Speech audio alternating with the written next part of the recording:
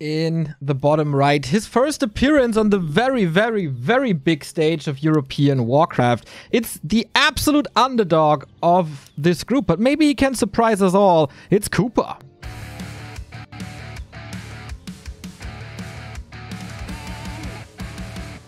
And in the upper right, doing already kind of a greedy creep spot, if I can say it myself like that, it is Cash.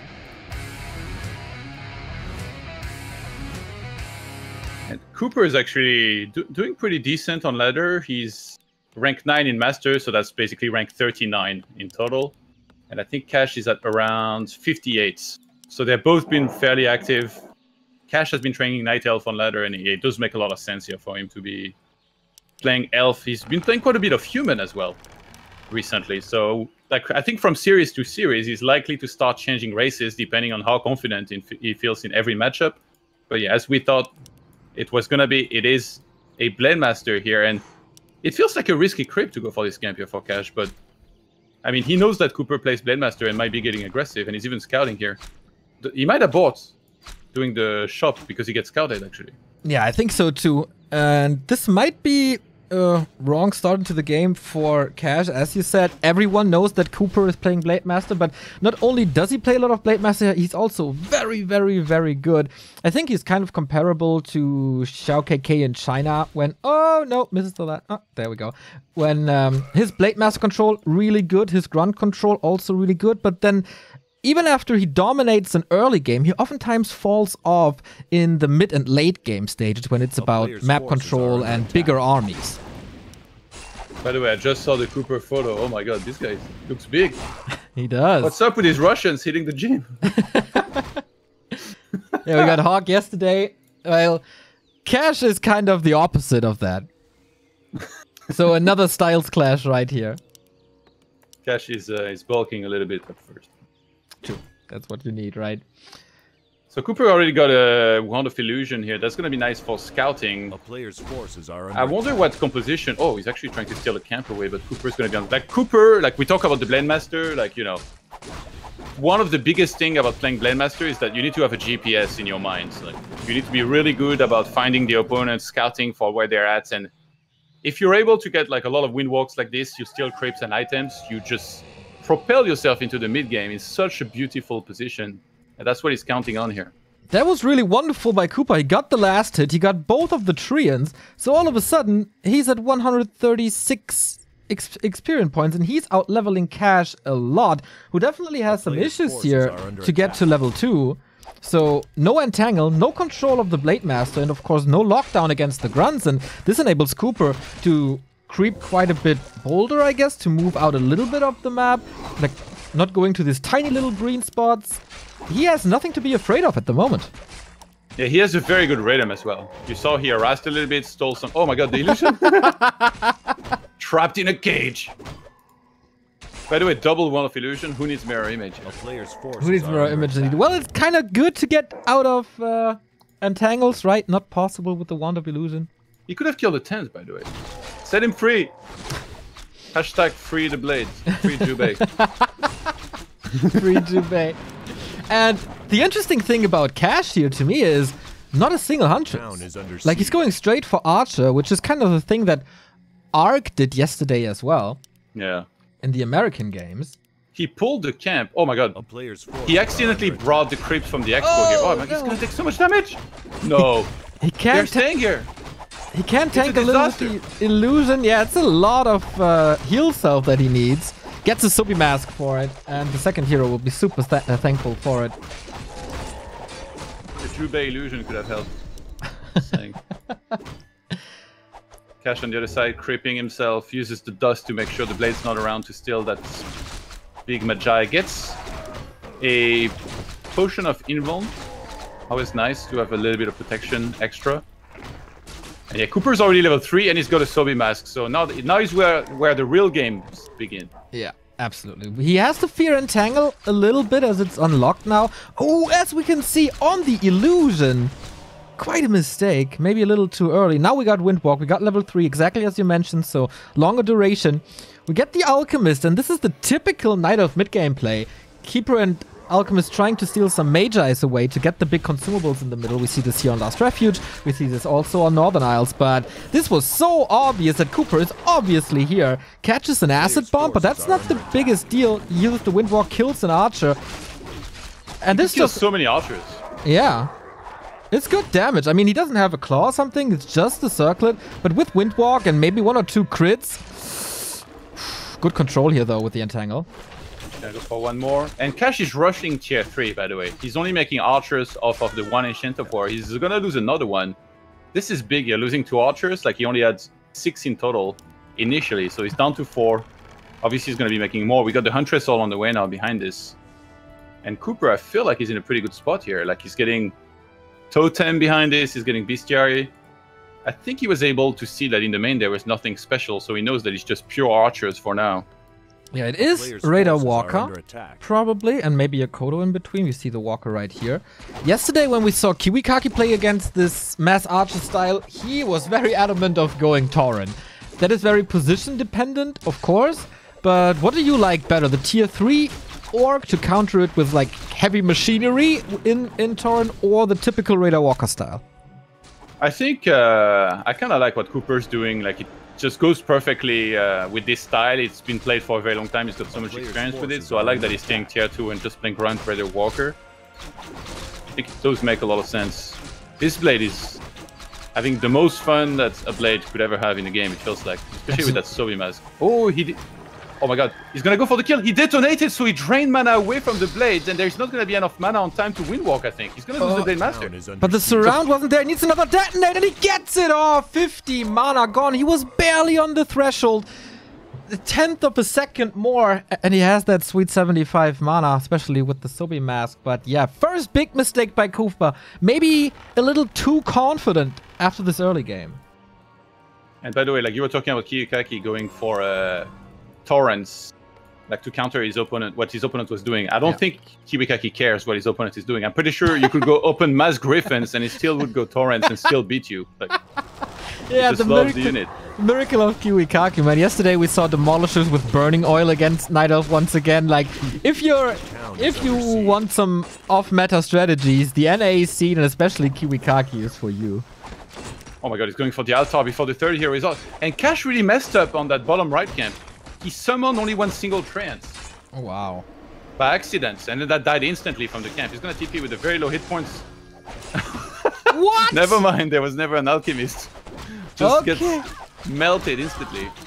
How is he gone so quick quickly? The TP just arrived and Cooper, Killer Instinct, going for that second hero. And that's big because that was a big part of Cash's healing. Look at the Moon Juice. There's nothing left. Yeah, the Legion is supposed to be very good here. Cash doesn't have any staff, the bottom gets caught. And Cooper, spelling blood in the water here, is pressuring very heavily. He's gonna speed scroll to try and get that priestess. Those Cash maybe denies the experience by sending it into a camp. Well, he might be able to escape. Okay, she does, but she's far away and she's supposed to provide an aura, which doesn't really work when you're on the opposite side of the map. So you need a new idea here. Poor He buys Potter. He can buy stuff from the shop. He has to realize it's been cracked. It's safe to go there. The alchemist on its way back, detonate lands. Still enough mana on the shadow for at least one single heal.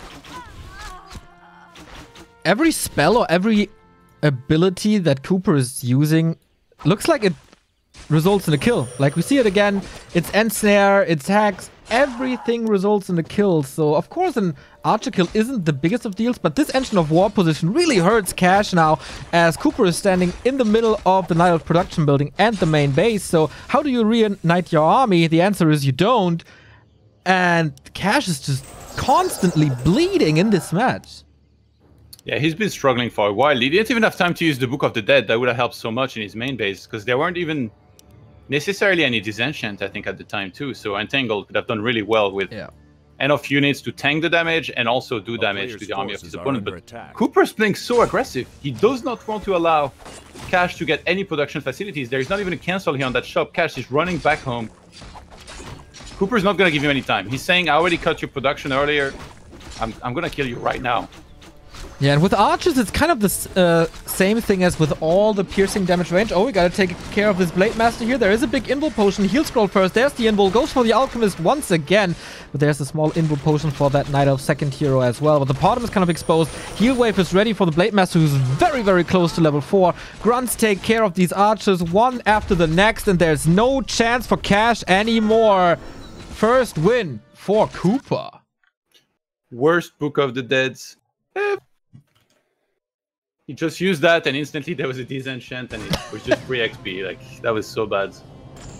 Unfortunate game for Cash, but you know, we talked about it. Cooper plays Blade Master, he's very good with it, so already kinda I'm questioning the greedier attempt at creep, creeping the shop in the center, but who knows? Maybe Cash might have played against Cooper on ladder, and then Cooper didn't scout and just went to creep a little bit and then played aggressive. So he was like, if I can get away with the shop, that's a great creep route advantage that I can get because I can get level two, get a big consumable.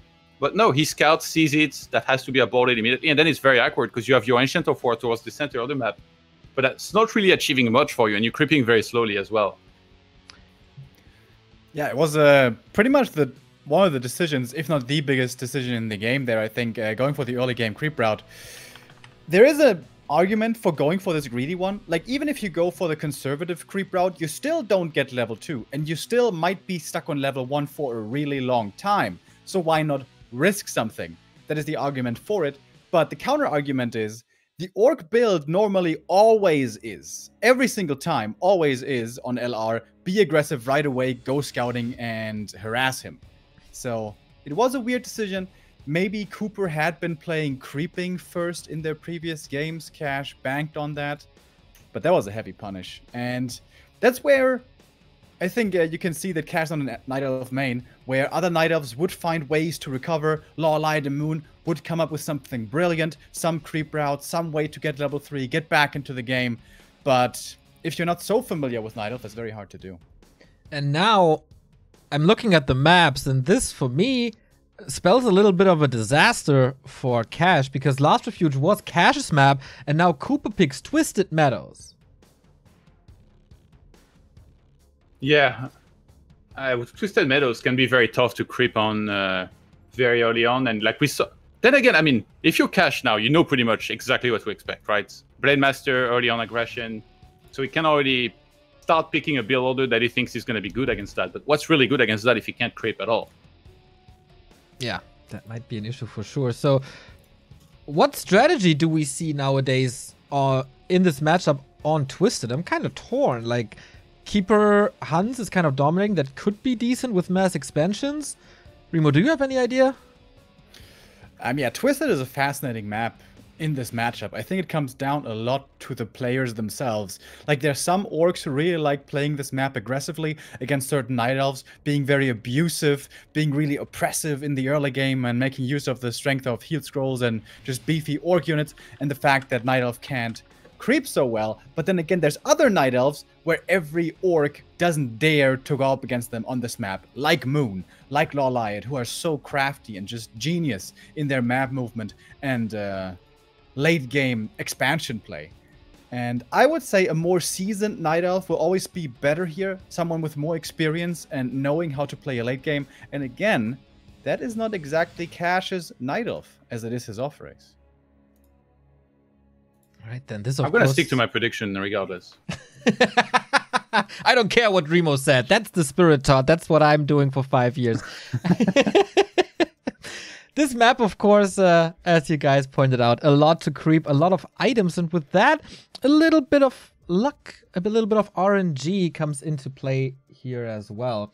But let's go step by step. The starting positions are really important. The item drops are really important. But most important, of course, what do the players decide to go for? What's their execution like? And for Cooper, Last Refuge looked really good. Like this start at the green spot where Cash was trying to trick him that didn't work out because Cooper's Blade Master controllers once again so damn good.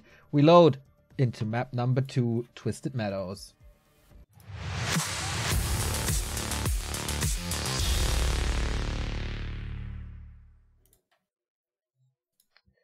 And there we have him, trailing former top four in Europe, but now diving a little bit in the ranks in the bottom left as Night Elf once again. It's Cash. You know, I was convinced that Knopf was the best buff bold orc in Europe, but now I feel like I've been bamboozled because Cooper, clearly, I had never seen a picture of him and he's pretty damn good as well.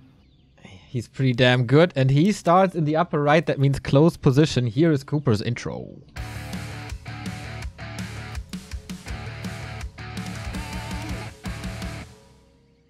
Alright then, the rock music is off. Cross position it is, Todd. What does this say about the matchup here now that we have no close position and no close spawn to a mercenary camp?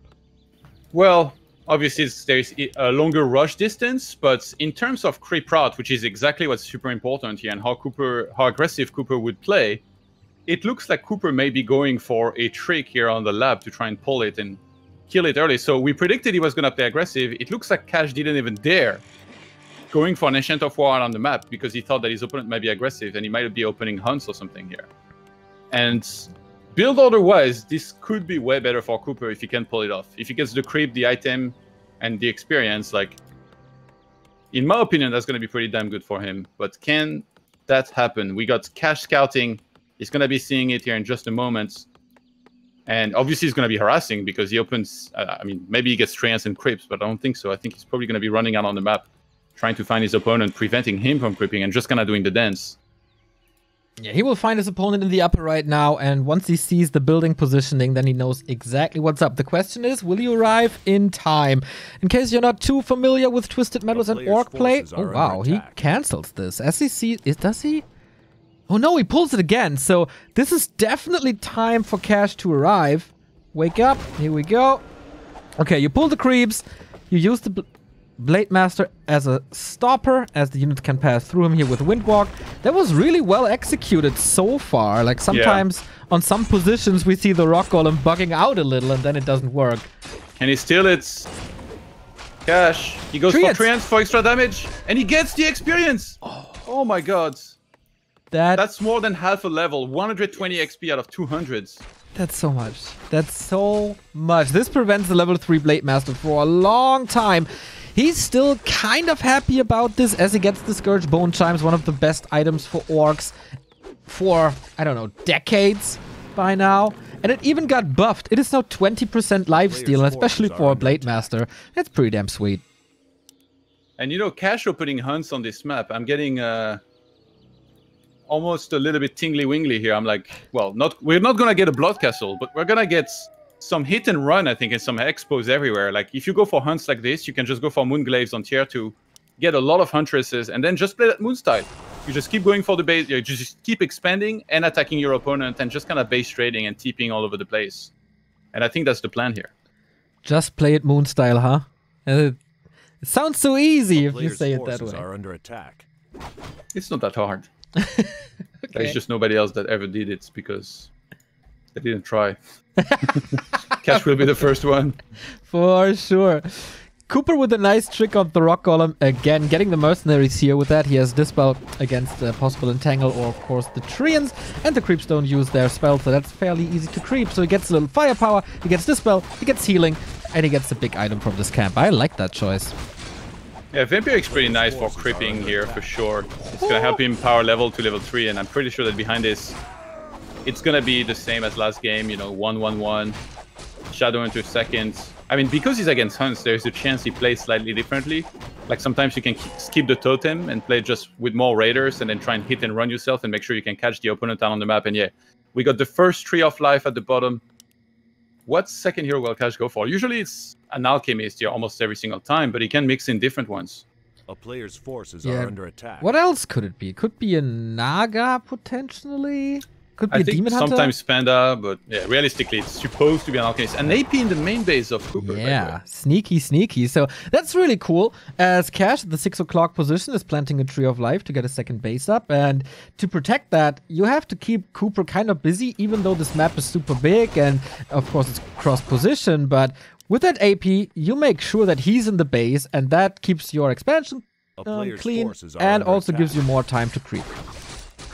And Cash made Sentinel, by the way. So he's actually going to have detection now on the map without having to use the dust necessarily. Like, that helps a lot. Spotting the movement of the orc, seeing what the Blade Master is in particular. Like, obviously, you can remove the Sentinels, but it's not always super easy to spot them. You need to send a peon on the map and then just hit that tree one time. But yeah, the AP's finished. He's not moving it yet, but he might get spotted. Oh, it's Oh my god. Cash. Ah, okay, he attacks the units now, so we see this. Blade is three. Okay, Windwalk is good. That took a little longer. The inventory is amazing, by the way, with the slippers and the potion. You got really good drops so He's far. trapped. Free Jubei! Free Kigami. Is Kigami now? Yes, it is. But you know, he's dealing with these creeps. He's healing up in the meantime. He is keeping Cash busy, and it is an alchemist. That was level 3 just denied, attack. by the way, by stealing this Oh, little null. sweet. And he still has a lot of mana. I think he's gonna keep on working on this keeper, maybe. Like, not having Entangle level 2 is a little bit disastrous here for Cash. He's trying to get that. Will the Blade step in? No. He really wants to heal. I think it's a good timing for Cash to go and creep the Expo at the bottom, but sometimes here, it's very tempting to attack, and then when you finally have to TP, you just TP out and creep the Expo. But in this case, the AP is already going down, so I think he's just gonna go straight for the Expo, and Cooper is stalking him. Okay, how long can he follow? With a little bit of multitasking required, taking the AP out in the main base. We see the first Serpent Ward as he's now facing... What? As he's now Player's facing forces uh, are Huntress. under There's a. Demolisher. That's Who plays happens when you- Demolishers? When you watch Kiwikaki's games, you automatically start making those without even realizing. Your brain just tells you, hey, it looks really good, but the difference is that Kiwikaki played it on tier 3 with burning oil. And this is only tier 2 so far. But of course, a good solution against buildings, as long as you keep them safe. Alright, the Blade Master. That Sentinel is so sick down there. He's actually going for some nice target fire here. Dust was already used, so he's detected. Also, the owl is super beautiful here in Reforged. Well done. And the Dragon is down. Ring of Regeneration. Nothing really to do for Cooper, and he realizes it as well. With all the detection, with Poison Ivy combo, and he's creeping up himself now towards level 3, and he's also expanding in the north. Actually, like usually I, I use that expression to uh, after fights to point out the big supply difference. But look at the supply. Cooper is not really doing too well with production. He's only at 40, and that's because he expanded at the top and Town rushed for 45 to be safe Are under attack. against potential hit and run from his opponents. Plus two attack is already on the way for Cash. Oh my god. Whoa. These Huntresses are gonna hurt. It, did he get Moonglaive yet? Uh, no, not yet. Just Sentinel. It's also not in production, but I like what Cooper is doing with the Blade Master here. Despite, like, he's not moving the entire army to the south and tries to kick the Tree of Life. He's expanding on the other side of the map, and the Blade Master can keep this Entangled Gold Mine down. And he can probably spend his entire game here just canceling the gold mine over and over. Well, he don't have that much mana. Like we saw what happened last game if you get caught. Like Entangle level 2 is still pretty scary. So he needs to be careful. But yeah, Cash, 41 supply. He's getting uh, improved bows. He's gonna go into archers here. He's got enough hunts already. And Cooper's going for the Creepjack. He's one bit of experience away on his Shadow to get level 3. Keeper is, uh, sorry, uh, Blade Master is being targeted. Invuln available on him. He's gonna delay that. And that's gonna be level 3 Shadow here. Right. There was a, an invul potion on the alchemist as well. Cooper played passively enough to save his big potion of invulnerability for the big fight, so I really like what he does. And now the null overseer to the blade master, which could potentially be a claw. It's gloves, but man, this inventory is looking hot. You got the claw plus nine, you got the slippers, you got the gloves. It's getting scary for cash, if you ask me. Like the huntress they don't have too much value anymore with these level 2, or with these Serpent Wards, and a lot of healing, of course, coming from the Blade Master as well. He's going for the Alchemist once again. So many crits! Oh my god, another one! Cooper, Saint Sword, maybe forced into the Invul Potion now. There was big healing on this Alchemist, so it's safe, but how greedy he is! Now, still the big Invul, not committed. The heal wave is saving him over and over. What a smart choice to go for that level 2. Yeah, he wants to make sure the blade goes really low. At the last second, he could use the invuln and then use a salve immediately on the blade so he can regenerate while this is keeping him unharmed. But uh, Cash really struggles in this fight right now. This maybe wasn't the best time for him to fight. Like, Alchemist wasn't level 3 yet.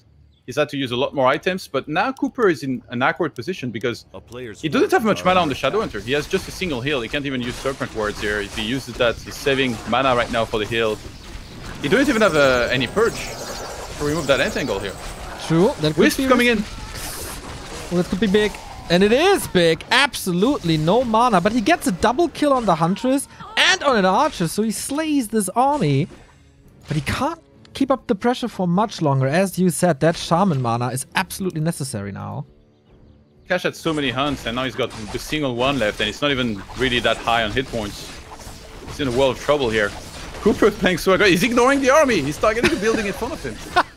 I like that. That takes away potions, that takes away more stabs, but I also love this acid bomb here into the back line. Level 4 for the Blade Master, which is a way bigger critical strike, and we saw these big red numbers. They will be even bigger here. Nice micro on the Shaman, saving it from the melee range Alchemist, and he always has a heal self ready, but I feel like he has to evacuate sooner than later. Yes, he's trading, but his units are tier 2 units, and he's only getting archers for it. But he doesn't care. Yeah, Cash only has three Moon Wells in his main base because a big part of what he's out of 50 supplies, that second tree, so now having lost the shop, he hasn't remade that. He's got so many units queued in the uh, Ancient of Wars. he really should have had a wisp at the Merc camp because buying some mercenaries here could have helped a lot in those fights, and Cooper is just happy trading because his heroes keep on leveling. If you reach 5-5 here in this matchup with Blade Master and Shadowhunter, you're in a great spot. He can just solo this keeper because it's raining crits. Oh boy. It's so hard to heal against it. Here comes the purge. Here comes the hex. That's the end. Keeper gone. And maybe the first big upset of the tournament as the underdog Cooper is having such a lead. 47 supply. He was close to 1,200 gold for a second. He's trying to get the keeper back at the tavern, but of course no mana anymore. Does he have anything to pop on the Shadow Hunter? Not really, but he got more crowd control in Purge. He is bloodthirsty now, trying to TP out. And it does work. Cash prolongs his life, but everything is looking real grim for Cash. Yeah, Cooper with a great decision to go for the shop now because he needs to heal, he needs clarities on his Shadow Hunter, so it's a great way to just go and creep something here where it's not really going to do that much damage to his units either. Get an extra item, and then go for more pressure, like I'm pretty sure. He's just doing so well in this game. Tier 3 is about to finish, he's finally adding a Bestiary, he's going to be able to get a Kodo. Are we going to see the attack. rah rah rah? I think we have to get Remo on for the perfect uh, uh, impression, but you got real close, Todd. So, did you It's see cute. this? Did, did the-. Oh boy, Remo, get ready over there. Did you see this inventory of the Blade Master now after the shop creep? It's insane. He got Boots of Yeah. Quel'Thalas. He got Claws plus 9. He gets Slippers. He will get an Orb soon. He got Gloves. He's gonna add Kodos maybe. This Blade Master is absolutely out of control. You know how they say, like, don't be jealous of uh, anyone else's success? Yeah I'm so jealous of his inventory, though. Cash found a true shot, by the way. Definitely the best item he could have had here Okay. for so he his can massively ranged army. Yeah, he can pretty much skip the bottom with that now. She's of course a great orb carry, but Cash never got into a situation where the triple orb really becomes important. So Yeah, there is nature's blessing, so this tree won't die that fast, but against that big an army, I don't think Cash will have too much time. It looks like he might try to run. No, he's getting in position to TP. Okay, there we go. Where does he TP? Left side, I think, is safe.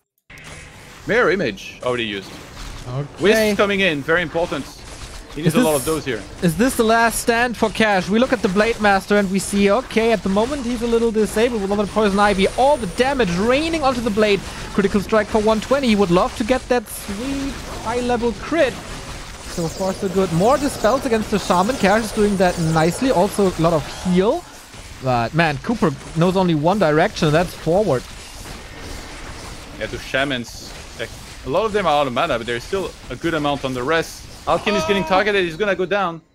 He no, wanted to... for bloodlust, please. That was so unlucky by Cash. He wanted to transfer the staff and that didn't work. Oh my, there was the hex and that is the 2-0 for